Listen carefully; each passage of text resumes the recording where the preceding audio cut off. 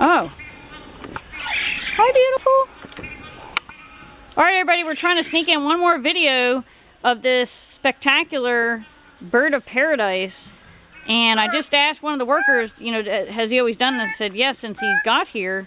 And um, it's great to see a happy bird. They're all the birds here are happy. And it, this is a new aviary, folks. So I hope you get over to Sylvan Heights Bird Park. I'll tell you what, I've never seen a bird of paradise before. And he's just hopping around and really showing off. And hey, beautiful. Wow. Just goes to show you don't have to have a long tail feather to be beautiful and spectacular. Hi, birdie. Beautiful bird. Hi, bird. So we're just going to let this run out till the battery runs out. Woo!